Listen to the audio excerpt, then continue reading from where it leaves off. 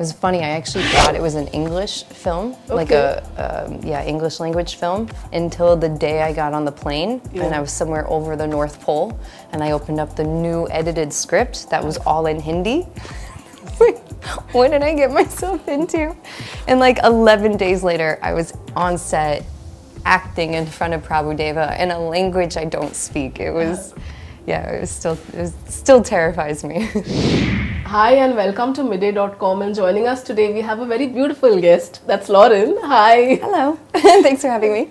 So obviously we are going to look at your journey and let's start with your childhood because Oh, not wow. many people know that. Okay. So what was your childhood like? What was Lauren as a kid like? Oh my God, Lauren as a kid. Okay, so my dad calls me sweet one. Mm-hmm. So anytime I answer the phone, it's hi, sweet one. And uh-huh. it's like the best two words in the English language, I swear. But my mom calls me wild woman. Mm-hmm. So those are my Gemini dual like personality, like charms yeah. sweet and wild. Mm-hmm. That's it. Um, but I was very much like a tomboy. I have two brothers, and I just wanted to do everything that they were doing, and I wanted to play sports and, and uh-huh. everything. So my mom was like, let's get you into something girly, do dance, you know. Um, and yeah, that's how I jumped into it. But ironically, I hated it when I first started. Okay. I don't know. I've told this story a few times, so maybe you guys know. But like, I just thought I was the worst dancer in the world, and Wow. actually begged to quit. That's Could you imagine? it's no, been my whole life. Yeah, Ah. And thank God my mom wouldn't let me because she's like, no, honey, like I paid for the whole first year. Like you will go to those dance classes, finish the year, and then if you want to, you can quit after that. Okay. Yeah. And so how did the passion for dance start? When did you start falling in love with it? It definitely wasn't that first year. Mm-hmm. Um, I actually cried every single dance practice, and it was a very specific moment. Um, we had this year-end recital where there was about I don't know, like a thousand people in the audience, and my mom like held my hand and let go and let me walk on stage like that. And then she ran into the audience to watch me. She said it looked like I was having fun and I didn't mess up, but she figured I would be devastated, you know, Yeah. after, just like I was after every dance class. So she ran back to get me, and that's when she said I walked off, and I was like, like I still like when I think about it. Look at the. Do you see the chills? Does that lens go that far? I have chills everywhere because I like somewhere remember that moment Yeah. of getting off stage and. I don't know if it was the lights, if it was the applause, if it was just the adrenaline of it all. Yeah. But I was like, I have to go back out there. I have to go back out. And uh, my mom had to stop me. I was trying to run back on stage in the middle of the next routine. Yeah. she was like, oh my God. And she grabbed me and she said that's when she knew, like, this is what I was going to do for the rest of my life. And then I did. Then I got really serious. Then I was like, oh, I want to be the best Yeah. And I have to train and train and train. And I, I did more training than anyone around me. It was kind of crazy. Yeah. And of course, you've been on the one of the biggest dance shows through the world. That's so you think you can dance. What was that experience like? That was tough. That was, um, it was, uh, it was interesting because it was tough watching it on TV the Yeah. first two seasons and be like, oh man, like I got to be on that show. Um, but I wasn't old enough, so I actually assisted one of the choreographers. Okay. uh, the first, or sorry, the second season. So I would sit in the audience and watch some of my choreography on the show, being like, oh, it should be me, it should be me. And then the next year, I was finally 18. Um, I had moved to Los Angeles by then, and I auditioned and made the show. But it was taking someone at 18 years old. Like it's it's tough. It's Yeah. a lot of pressure, and they put a lot of stress on you. Absolutely. I'm. Yeah, like um, I'm sure we'll get into the differences between you know the reality shows here and there. but I always like to say, like here, you'll be rehearsing for an entire week, like as many hours as you want, Yeah. and the filming day is like 15 hours. Like it's madness. Yeah. But there, you only get six hours of rehearsal. Wow, okay. Like that's it, and then you're on stage, um, and uh, it's a two-hour taping. So you start at five. They have the clock on in the back, so the mm-hmm. host calls for a commercial break. Yeah. You go to the commercial break, and then it goes five, four, three, two, and then the host is back on, and you're there. So everyone in that building is on it. There's no place for error. So that's cool. Like it Yeah. really taught me this like amazing foundation, you know, Yeah. to sit on. It was cool. And I've been on the sets of Jhalak Dikhla Ja, which you were a part of Yes. also, and it's crazy. like I mean, it's absolutely madness. So what was that experience shooting in India for a reality show? I mean, the first time I'll never forget it. The very first episode, Yeah. it was a 15 hour, 16 hour day actually. Yeah. I thought we were filming the entire season in that day. I was like, but I only have one routine. How am I going to film the whole season? Hmm. Yeah. But I was so used to those two hour like shoots.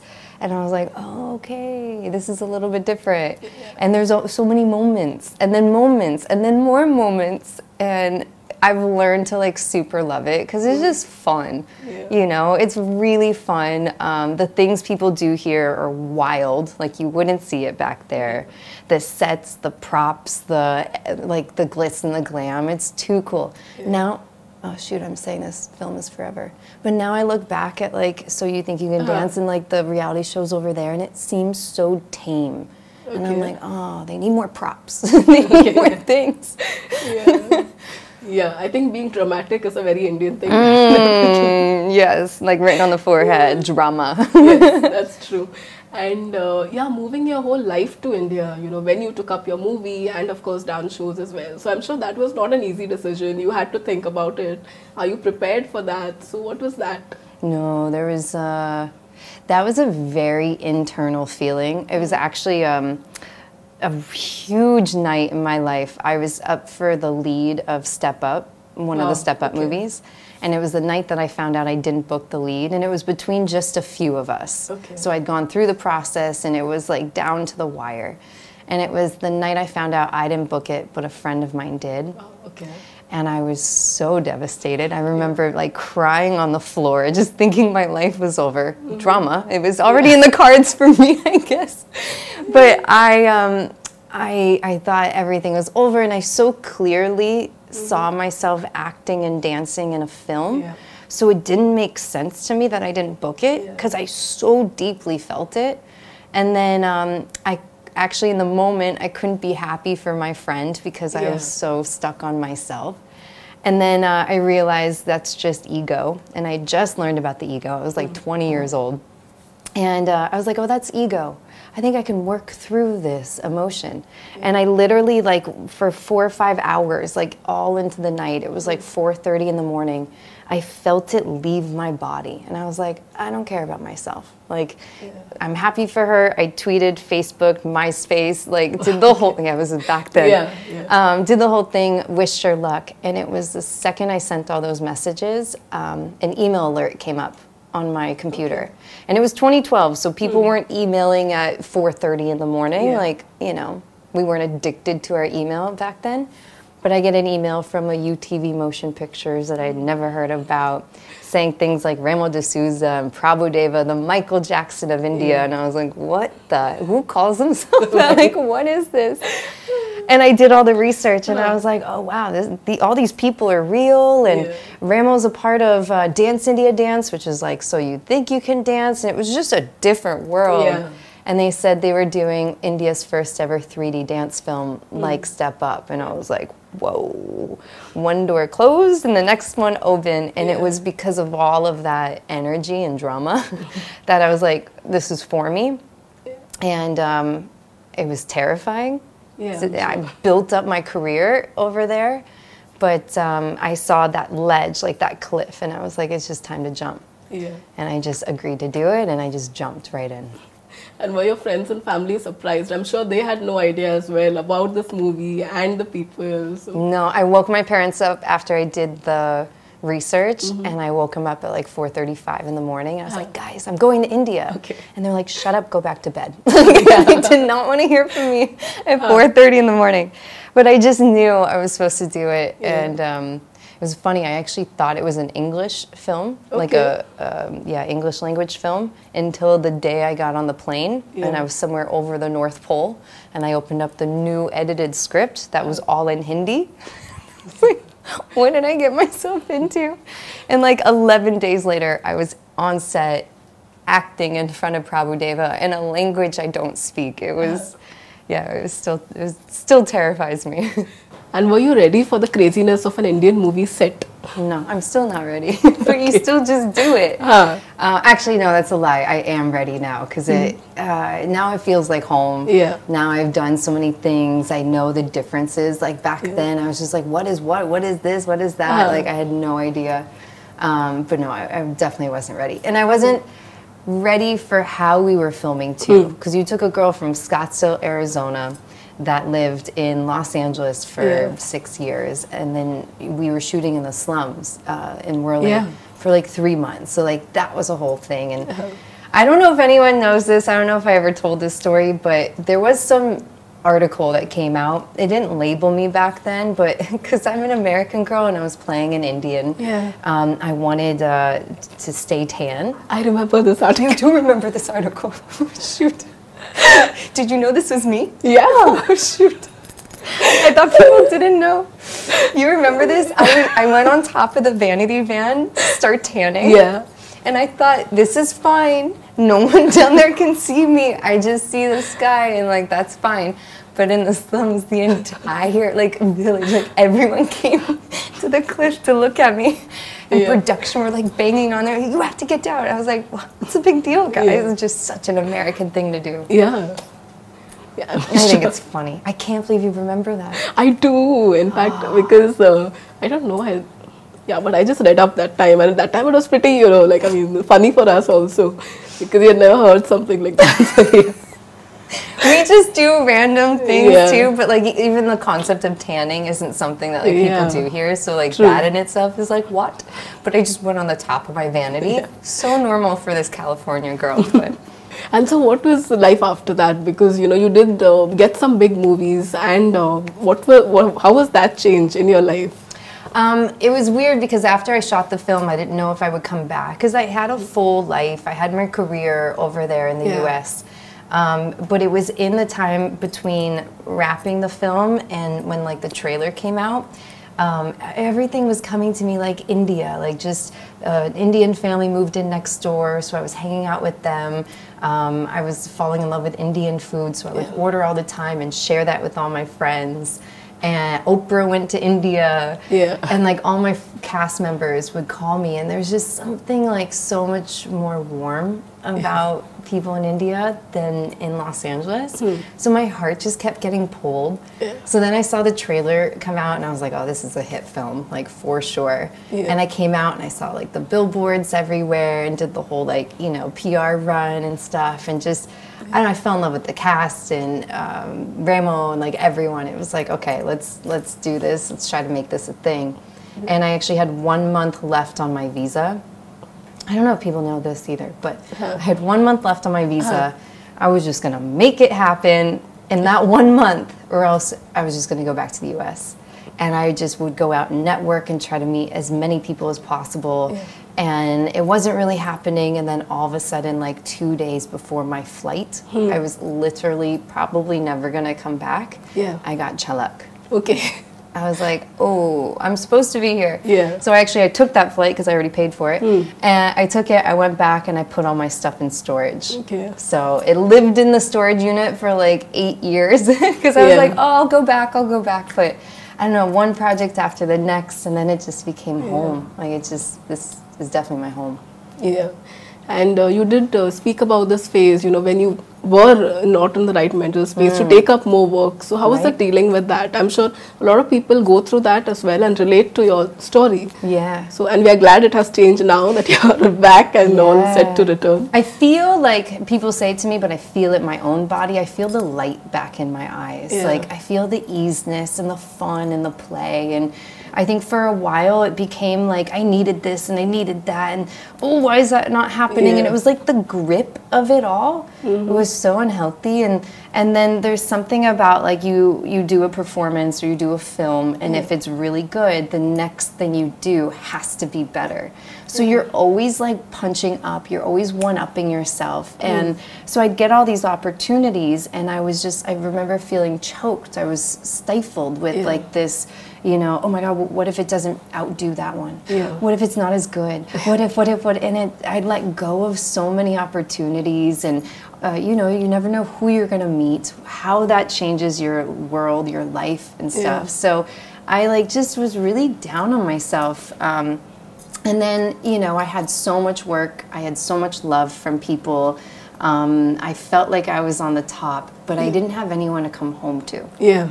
So we had these crazy shoes, these crazy hours, you know, emotional scenes, like emotional performances or whatever, or being in the hospital and like you're just not having your family. And I know that touches Yeah. most people here because Yeah. most people stay with their family. True. And I'm a huge family person and I would see my parents get older and older and I wasn't there. Yeah. And my nephews were born and I didn't know them. I was like, oh my God, like it was so much. Yeah. And then something just snapped in my head. I remember going, okay, wait, my parents taught me you work hard, you Hmm. train your butt off to reach here, Yeah. and then you'll be happy. But that all of a sudden I was like, oh, that's not the recipe. You actually, nothing outside, no job, no relationship, no shopping, no food, no nothing outside is gonna make you happy. You have to be happy. True.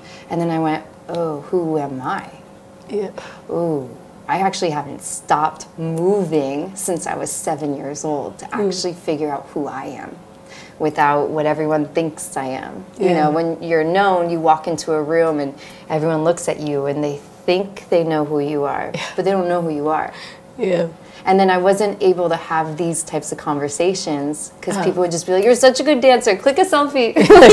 That was it, and then they would Yeah. run off, and I'm like, "Oh, but we're not actually talking." Correct. Yeah. Yeah, so I felt like I needed to go for a second. I'm like, this is my life. Yeah. And I'm so like confident in who I am and what I offer and what I do and my Yeah. talent that I can go away, I can get sorted and then I can come back and it can be something crazy, wild and new. Yeah.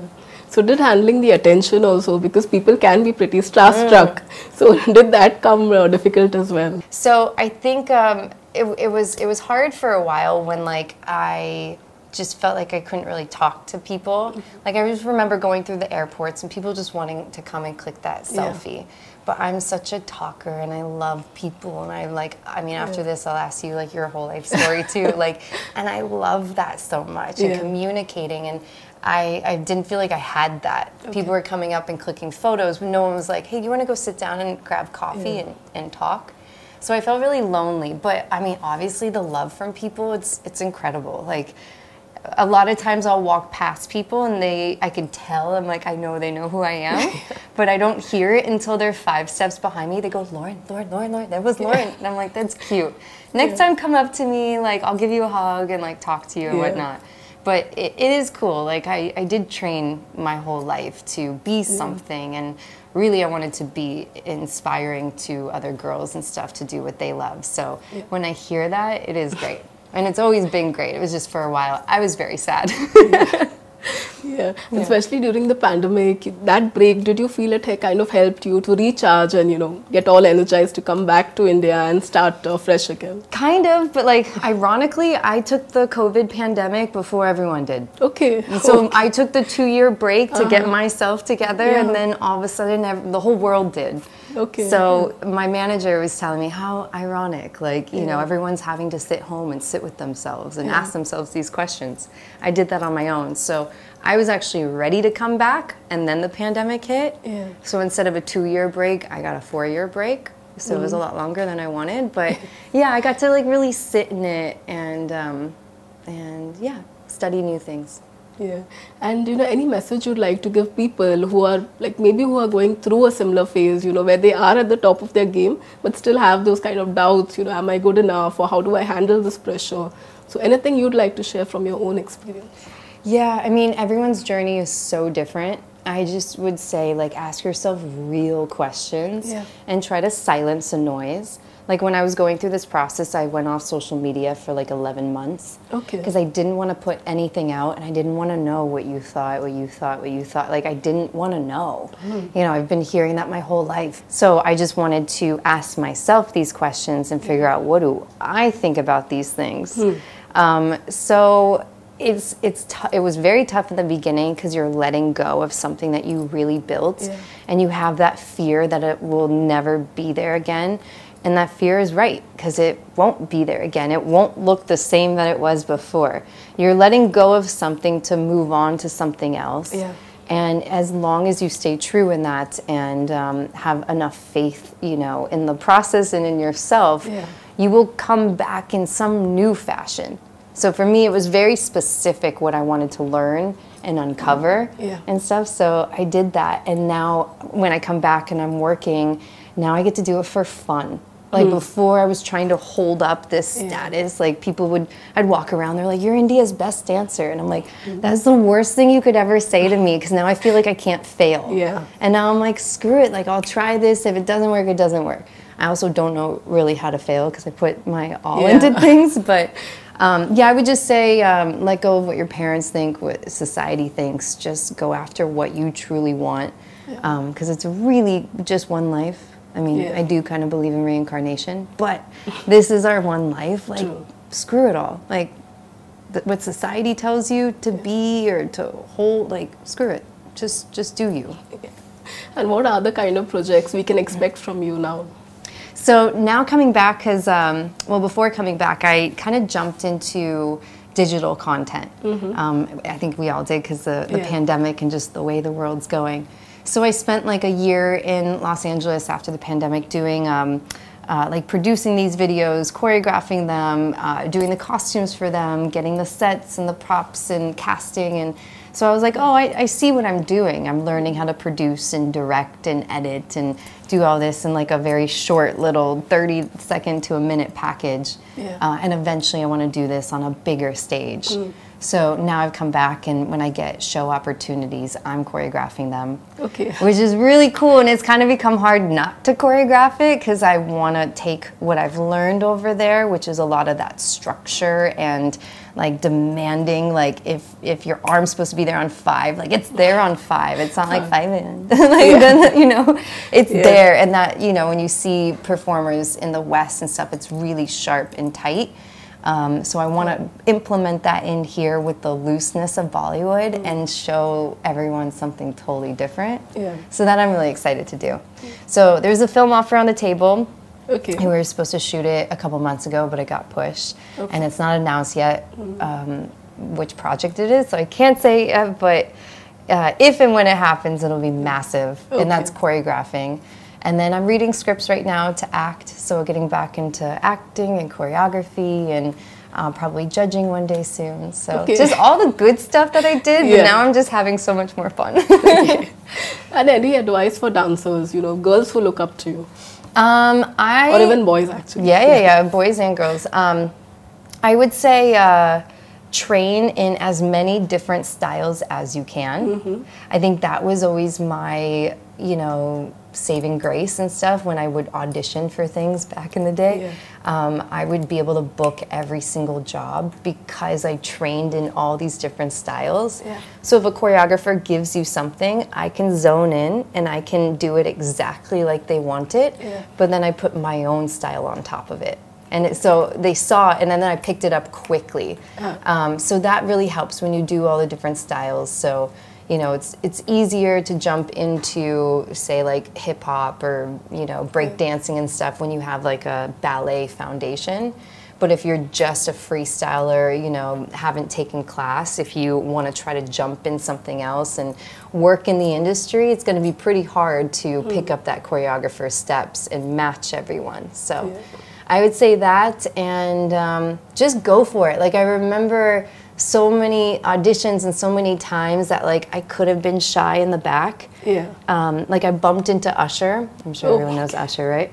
Yeah. Before his audition, I was late because I had another audition, so I came late. Oh. And it was this little alleyway, like I had to squeeze past his big car. Oh.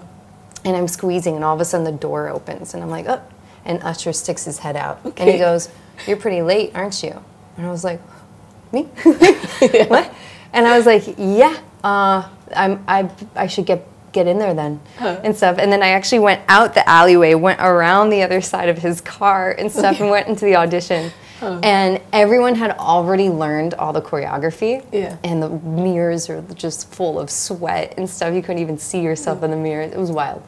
And they were going into groups pretty much right away. So I had literally less than five minutes to pick up this whole routine.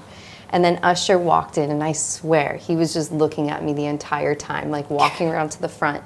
And they called for group one. And I was like, you know what?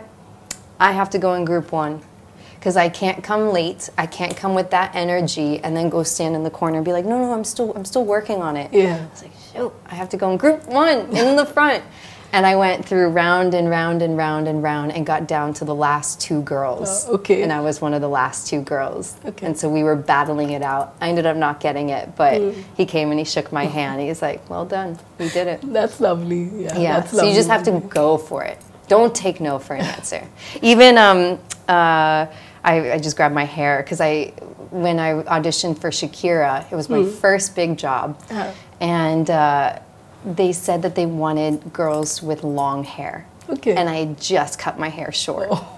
And it was for the Grammys, and I needed that job Yeah, I'm sure. and my hand just went up like before i even knew i was like what am i going to say Uh-huh. and she goes yeah and i go i have extensions Yeah. like hair extensions i didn't but it was los angeles i know i can go on any street corner and get extensions i'm not leaving without this job she goes okay you can stay. And then everyone's like raising their hands. She's like "Oh, okay just stay I ended up booking the job. Wow. And then they gave us hair extensions. so you never know.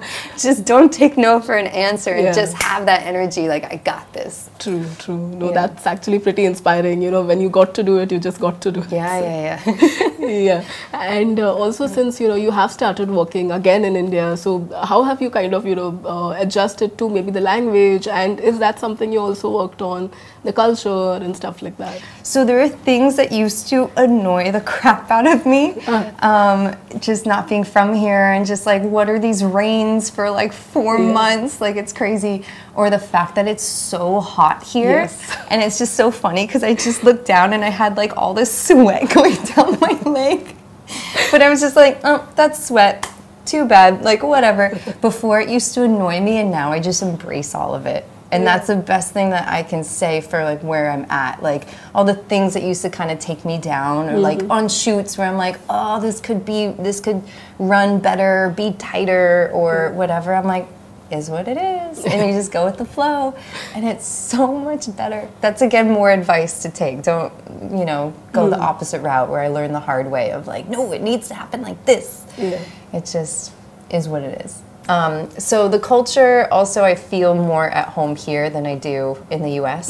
Where I didn't exactly know I was coming back, coming back. Yeah. Uh, I just came back in April for a couple jobs, and I'm like, let's see how this feels, like after the pandemic and everything.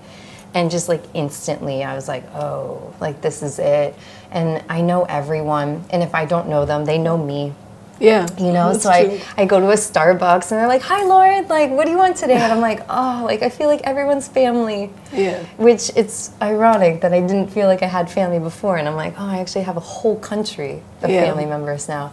But um, there's that, the food, like I've adjusted to so much better. The language, I wish during the pandemic I would have just sat my ass down and just learned, because that would have been great. I'm still working on it. Okay. But the the diction's coming better and, and I'm understanding more. I just need to get over people giggling and laughing at me when I speak.